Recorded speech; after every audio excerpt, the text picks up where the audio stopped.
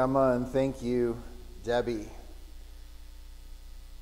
Our scripture this morning comes from Hebrews, chapter 12, beginning in verse 1. Hear now the word of the Lord. Therefore, since we are surrounded by such a huge crowd of witnesses to the life of faith, let us strip off every weight that slows us down, especially the sin that so easily trips us up.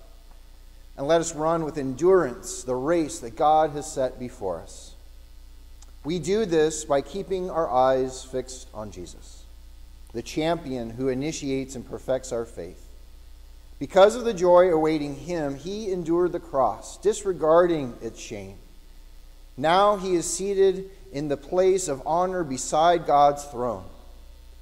Think of all the hostility he endured from sinful people. Then you won't become weary and give up.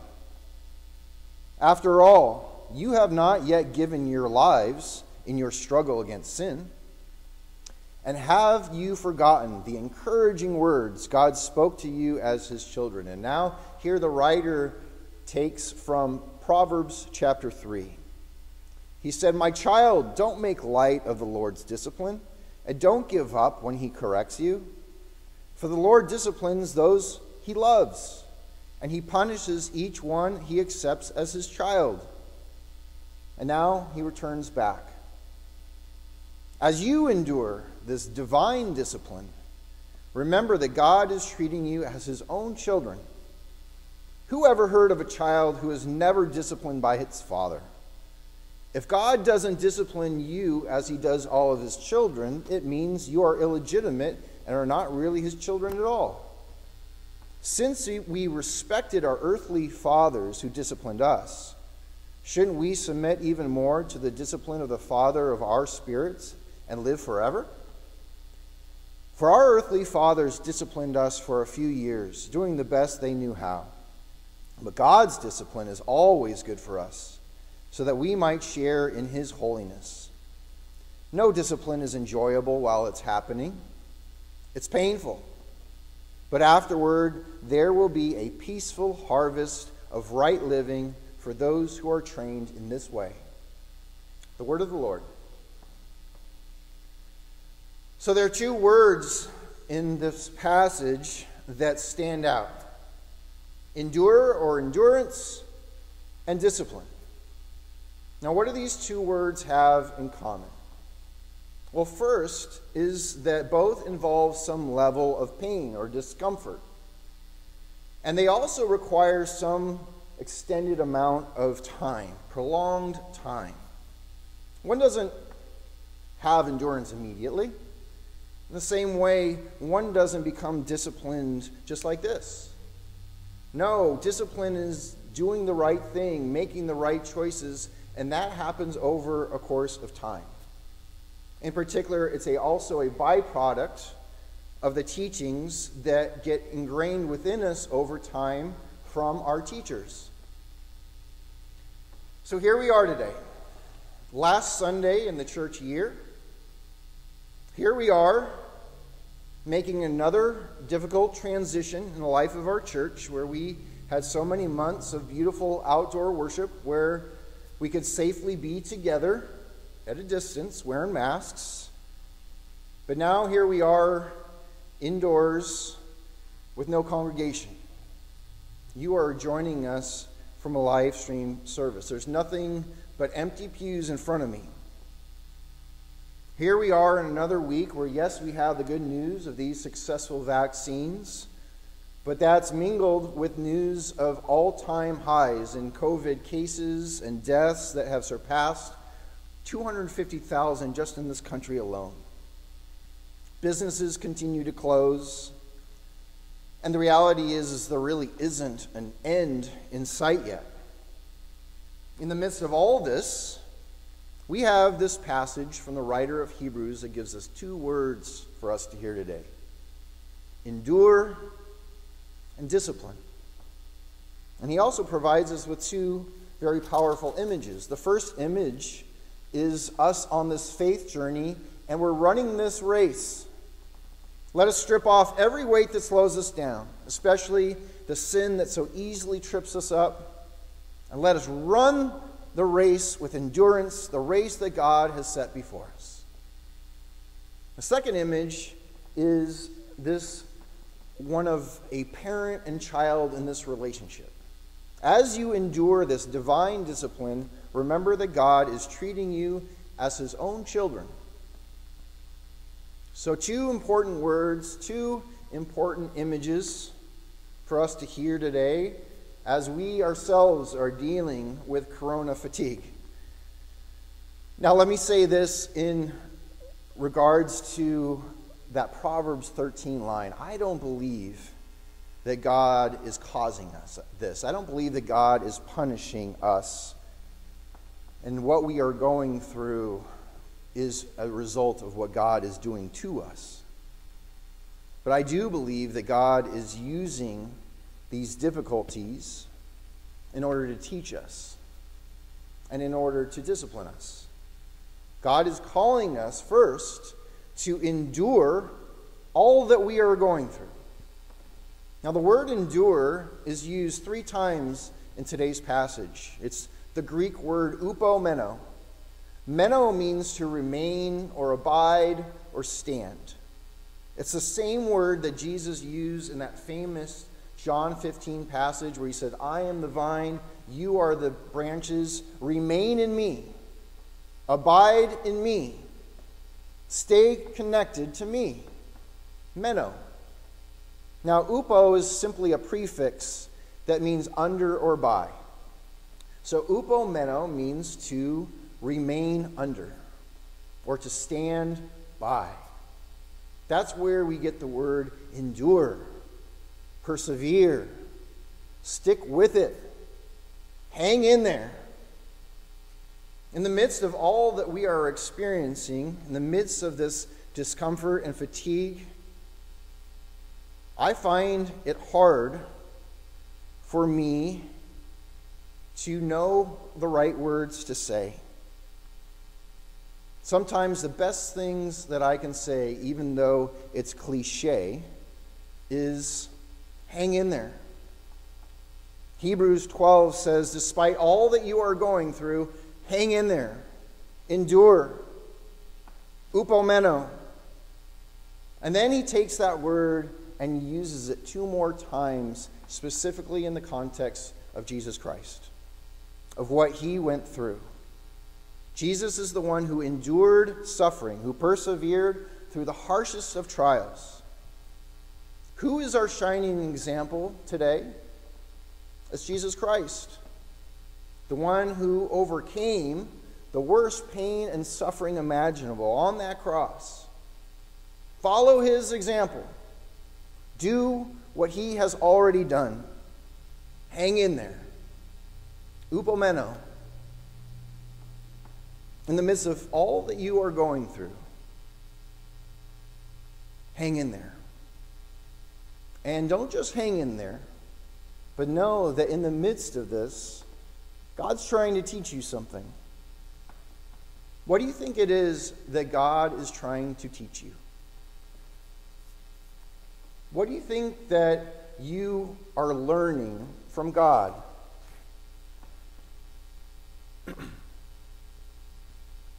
you may not know yet. You may be coming up blank right now as you think about that question. And if that's the case, that's okay. I get it. Now, here is what I want you to remember, and I want us to come back to this image. This image of this long, exhausting running race. Where does it begin?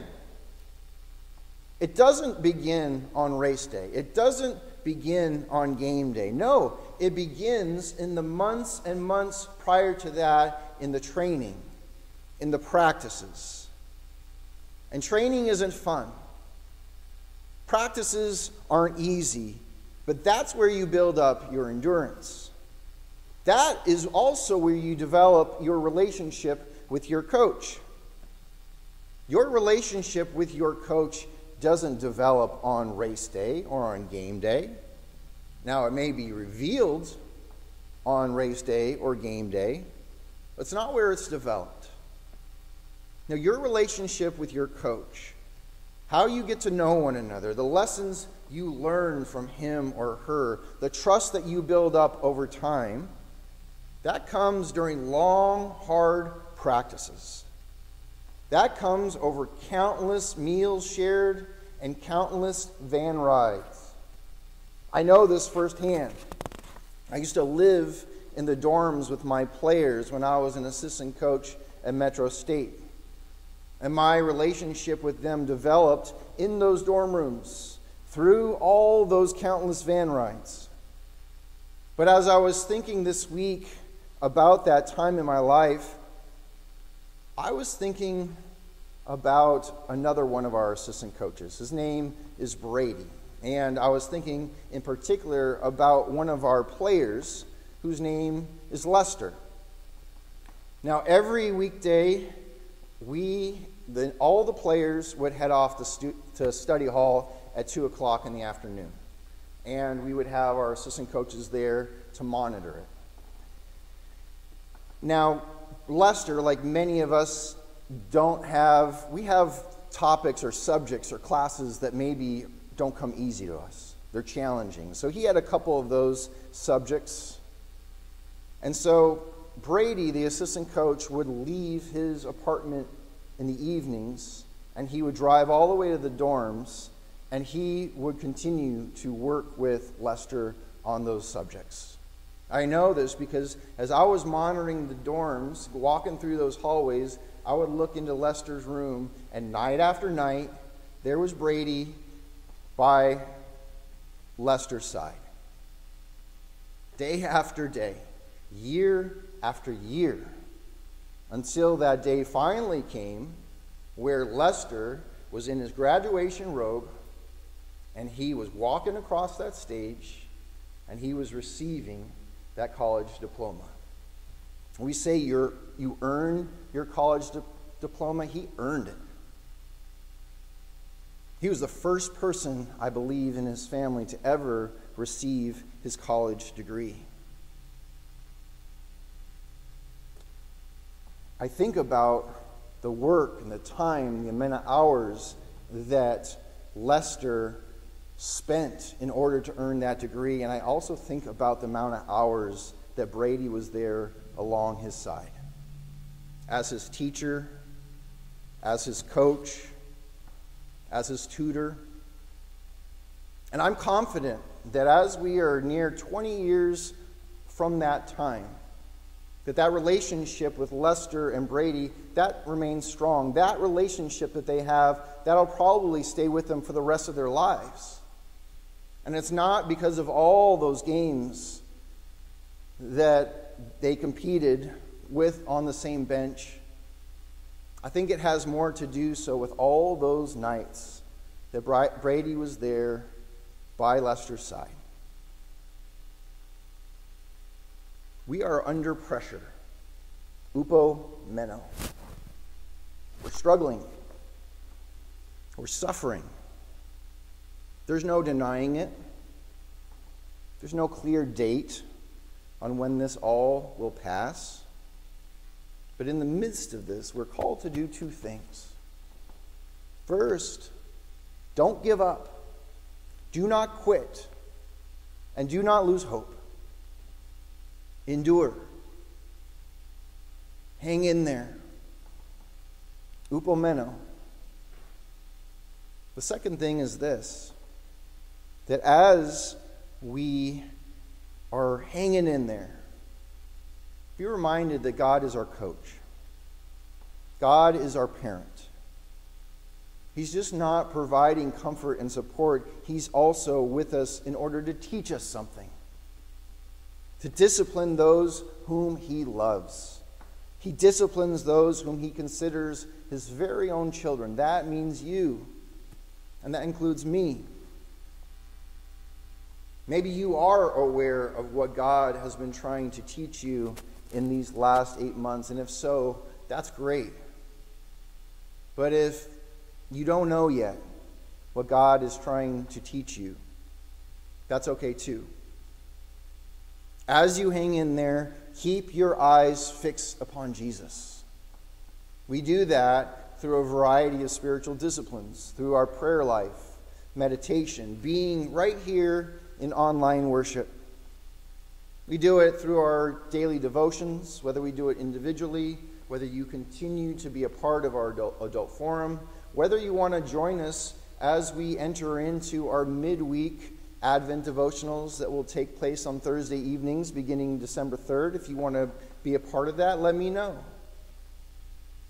We keep our eyes fixed upon Jesus by staying connected to this community of faith, even when we are physically apart from one another. In the midst of all that you are going through, be aware that God is trying to teach you. Be aware that God will expose certain things in your life so that you may be aware of that burden that is weighing you down. Now is the time where God says, let it go. Now is the time where God points out that sin that keeps tripping you up, where God's saying, Get rid of it. I'm going to help you get rid of that. Allow this time for you to strengthen and deepen your relationship with Jesus Christ. Allow Christ to discipline you. Allow Christ to be your teacher. Allow Christ to be your coach. Amen.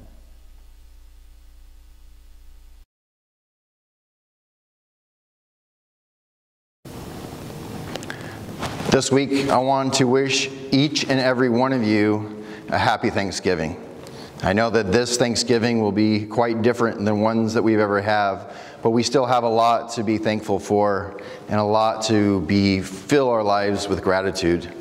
One of the things that I'm thankful for is being a part of the clergy of Lawrence Township, of a group of different faith communities that come together, and for nearly 30 years, we've had a Thanksgiving Day service, and this year it's going to be on Zoom and it'll be at the normal time uh, on that Tuesday this week at 6 o'clock. So look for that link, and we hope that you will join us in that interfaith celebration together. As you enter into this week, we know and acknowledge that things are challenging. We've heard a message that reminds us of a couple things. One, just hang in there. Keep hanging in there. Upomeno. At the same time, be aware of what God is trying to teach you in and through these challenges. Now, during this week, as God goes with you, as God is behind you, He is encouraging you. As God is beside you, may God befriend you. As God is above you, may He look after you. May the Lord who is beneath you lift you up in the midst of your grief and sorrows. And may the Lord within you provide you with love, hope, and faith. May the Lord go before you and guide you on your paths. In the name of the Father, and the Son, and the Holy Spirit. Amen.